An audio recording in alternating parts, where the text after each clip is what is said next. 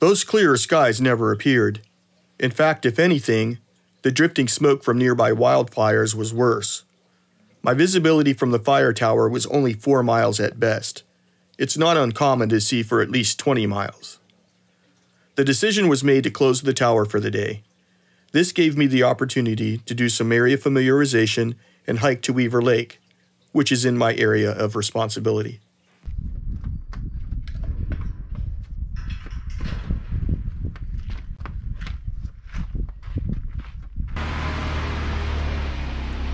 I'm driving up a Forest Service road that I found, which is off of Big Meadows Road.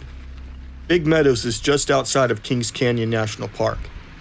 It will take me to Fox Meadow and a different trailhead to Weaver Lake. Taking this route will cut two miles off of the seven miles round trip mentioned in my hiking book.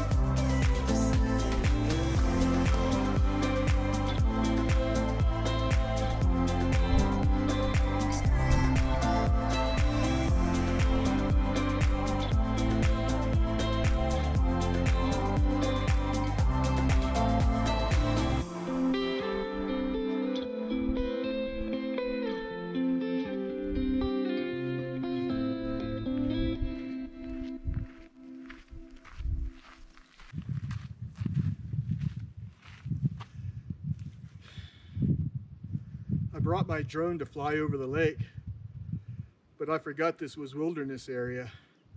I guess that's not going to happen.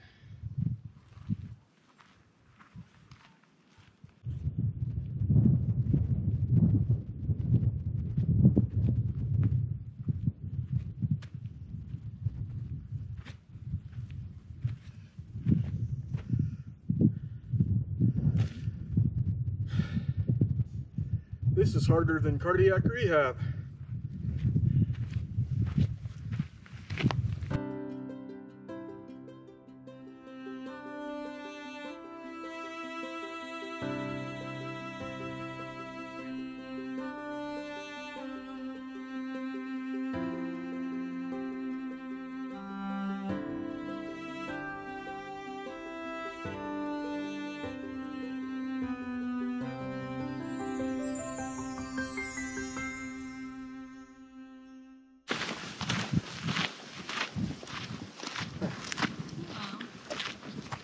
Size the lake.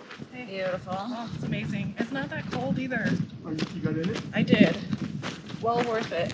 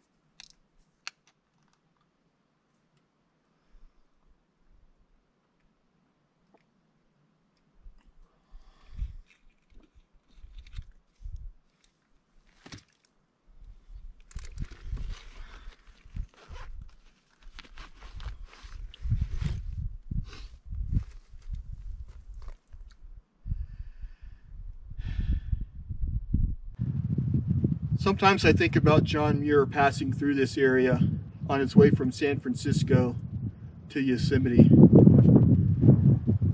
I picture him wearing a button-up vest, a pair of slacks, and dress shoes, with a handful of tea bags and a pocket full of crackers.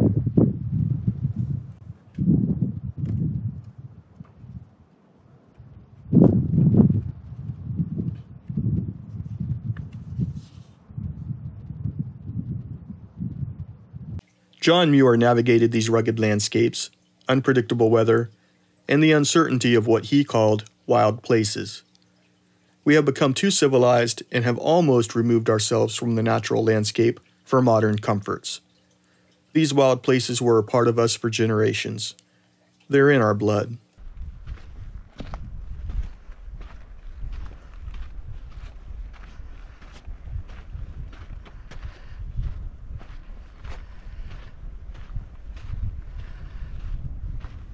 Why am I here?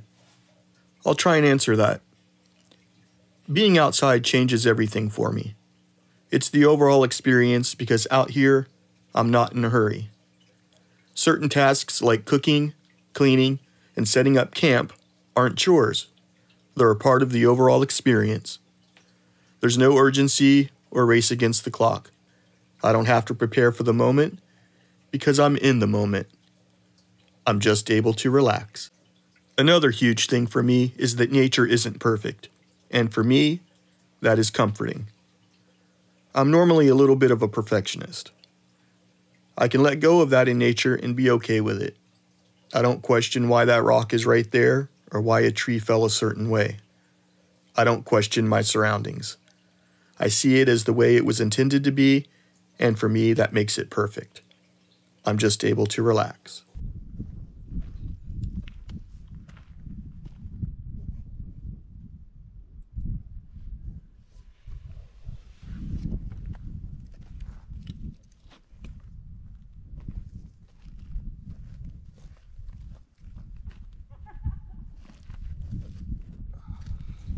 Wilderness isn't a vacation or some sort of amusement park. It's not a place to escape from reality. Wilderness is the real world. Here we return to the natural order of things and to our place in the world. No better, no worse, but equal to everything else. When it comes right down to it, we don't matter. No more than a rock or a tree matters. In this vast wilderness, we are all equal. The point is to be part of the whole experience, not to live separate lives or to live the longest or acquire the most stuff.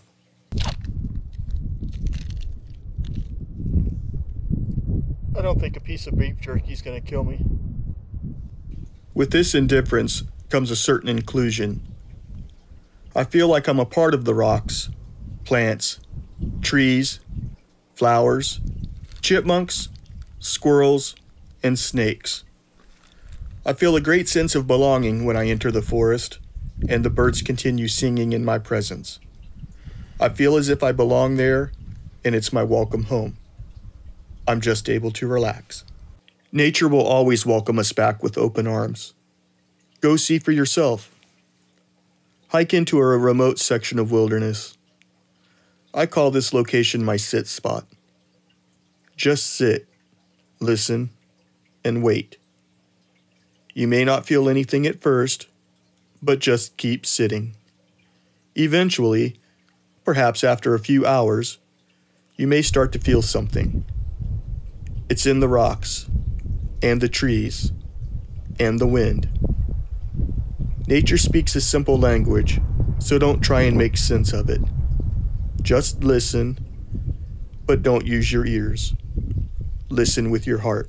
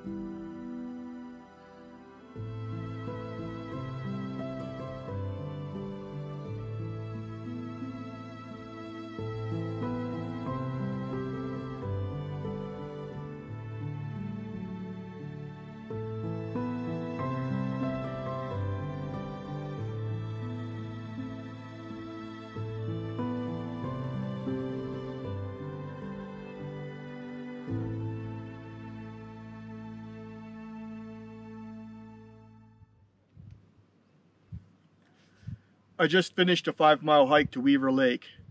I took my Garmin InReach on this hike for several reasons. One, I always take it, but two, given my current circumstances, I figured having the SOS feature handy um, would be a prudent thing to do. Another thing that I did was I sent a message to another fire lookout letting them know where I was, where I was going, and I sent them the link. So they were able to follow along on a map and see my progression as I hiked. Um, if something were to happen and I were to go down and couldn't hit SOS, they would be able to see that I haven't moved for quite a while. They would know my exact location and they would be able to send help.